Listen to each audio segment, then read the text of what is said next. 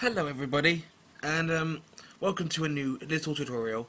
I'm back on my MacBook today, and um, if you're like me, you like using your old MacBook, because it's cheaper to own, and you like using it for entertainment purposes, so YouTube, music, you get it. You know, we whenever last time we spoke about uh, getting Minecraft to run on an old MacBook. Well, today I'm going to teach you something else. Something nice and simple. Now, um, one thing that uh, I noticed about my Mac was that it was never very good at doing some modern things. So, for example, if we go to Netflix, Netflix is always a fun thing to watch. Go away, I don't care about that. I don't forget my password to Netflix. Alright, so we're on Netflix. Let's pick something random. Um, Netflix, the scrolling through Netflix is always very slow, isn't it? Especially on older machines. Here, a bit of a Top Gear. We're not actually going to watch it, don't worry. No copyright. It, my mouse isn't over that. Behave yourself, Netflix. Okay. Gotta love old Netflix. And you might get something like this. Missing component. Now, it tells you to go to Chrome colon forward slash forward slash components and activate this one or update this one. That doesn't work. I've tried it. On OS 10.6.8, it does not work. Too old to run it. So, what's our alternative fix? Now, because a lot of people most likely just use Google Chrome, like me, because it's a slightly more stable browser, then um, you know that that doesn't work very well for Netflix.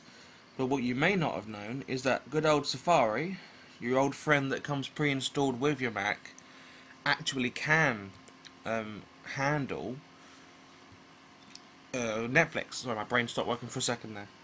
How do you get it to work? Well, that's quite simple. All you have to do is Google Silverlight.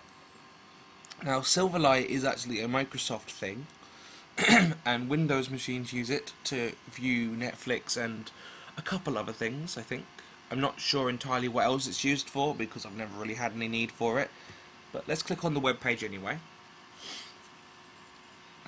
Now uh, you'll see Get Silverlight 5 or whatever version is available at this time for you.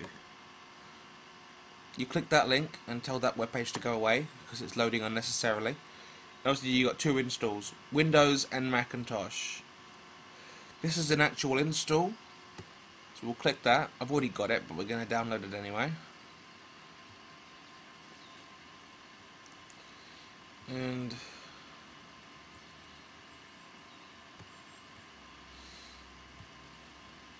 open it through here. There we go. So it's going to mount the disk image. There it is and then you just double click it and you can run through the installation. Continue blah blah blah. Scroll all the way down to the bottom and read all of that if you really want to. Continue. I agree.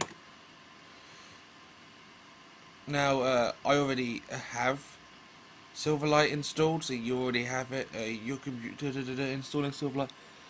Yes so you just click continue.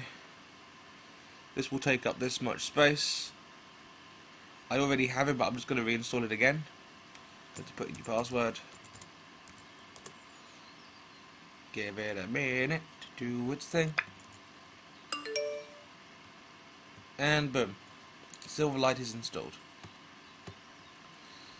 Now you can uh, eject that and then go back onto Safari. Make our way back to Netflix. Enjoy that incredibly slow loading time. And then we'll pick one of the Netflix originals, I think. I haven't actually watched any Riverdale, so there'll be no spoilers here. But as you can see, it is loading now.